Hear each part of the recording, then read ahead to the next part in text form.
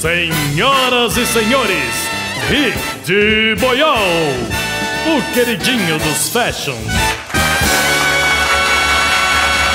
Olá! Estamos de volta com mais uma entrevista com o queridinho fashion do Brasil, o especialista em tendências Rick de Boiol. Senhoras e senhores, uma salva de palmas!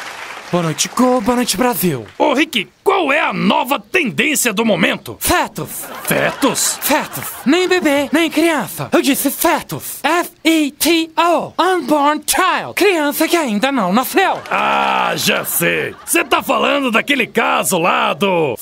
No names. Nada de nomes. Too dangerous. Muito perigoso. Piada com feto, nem pensar. Da cadeia, Sherry. Jail. 10 years. Mínimo. Mas Rick, explica pra gente então. Que tipo de feto que tá na moda? Feto de celebridade. Feto de famosos. Feto de pessoas que gostam de aparecer na mídia. Paparazzi addicted, baby. Eu tô falando de feto ofendido. Eu tô falando de feto difamado. Eu tô falando de fetos que processam pessoas mesmo antes de terem nascido. Bizarro. Yes. Repercute na mídia. For sure. Mas ô Rick, como é que um feto, uma pessoa que nem nasceu, pode processar outra? Good question. Excellent question. Você, melhor entrevistador de todos os tempos. Sônia Brown. Boo. Você.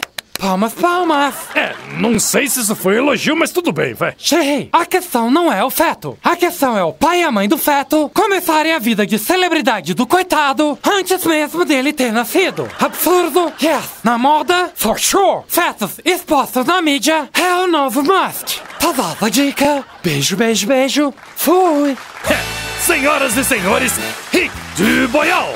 A gente volta daqui a pouco. Não sai daí.